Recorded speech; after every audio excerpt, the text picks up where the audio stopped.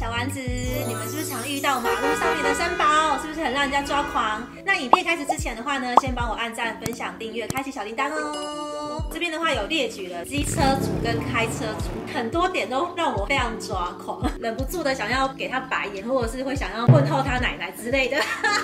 路怒症，对，生气。小事的话就是花钱，大事是进医院哎。遇到像这种人，我也是会闪他很远。第一点，机车组的话呢，我很常看到那种机车，它就是骑在中间，然后你又不知道你到底是不是要超他车，因为我如果超他车，我就会跨越双黄线；不超他车，你又会受不了，因为他都是时速二三十在骑，然后还骑在很中间，而且又怕按喇叭，他们会吓到。对，他通常骂那种就，呃，就要抓抓起来这样子，有没有抖了？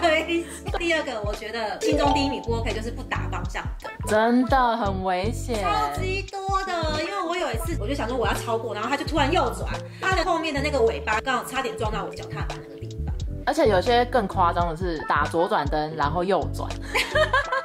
左右不分，对，这个真的超夸张，打一下灯说死要。而且正常来说，应该是你打了，然后你要隔一段时间再慢慢的转弯。对，有些人是一打然后马上就转，停在那边然后不打哦，到红绿灯开始的时候他才要打，然后后面人就反应不及，对，会反应不及。第三点的话，是我很常看到有些人把脚放下骑的，前面有带东西没有办法放上去，这个我可以理解。但是我不知道为什么那些人很喜欢把脚放在脚踏的两侧，他们觉得这样很爽，很舒服。很舒服吗？因为他这样子骑呀，我都会觉得我的脚会被他陪到。这种人我就会离他远一点，真危险。第四个，我很常看到有一些人是红灯，然后他就直接右转。他为了要抢快，然后他就是红灯右转。这种其实很容易撞到行人呢，因为行人他们准备要过马路了，然后你红灯右转就超容易撞到。因为你这边红灯右转嘛，这边已经在直行了啦。其实这样子我也会撞到他，危险。对，要问候他奶奶。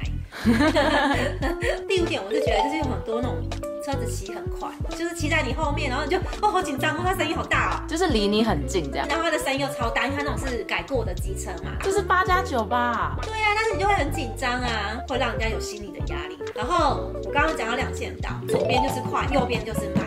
场就是会有慢，然后还骑在左边，因为他们觉得自己很快。你应该往右边走啊，就会变快的人只能往右边骑，转来转去，转来转去这样，这样子很危险。二零二三年从年初到年底，大概看了三四起都是那种三四台追撞在一起。我觉得在桥上真的你要跟前车保持距离，不然真的超容易发生车祸。不要因为你自己个人的行为造成其他人的。不安全。那接下来的话，我们来讲一下开车组喽。开车组的话，跟机车组就很不一样哎，但是它有一点跟机车组是一样的，就是不打方向灯。光是这个肇事的比率应该就是很高。再来就是开车的话，有人蛮建议是龟速车哎，可能开得很慢，但是又硬要开快车道的时候，就会被 闪那个灯。我觉得这种人要乖乖去旁边慢车道这样就好，这样还比较安全。这么快的车哈，一旦造成事故，通常都是很严重的，要么就是连环车祸，对，就会很严重。开慢一点，OK，但是你就是乖乖的绕慢车道去。第三个就是两台并行，旁边的人也没有办法超过去这样子。前面并行，我就想说这两台是谁啊？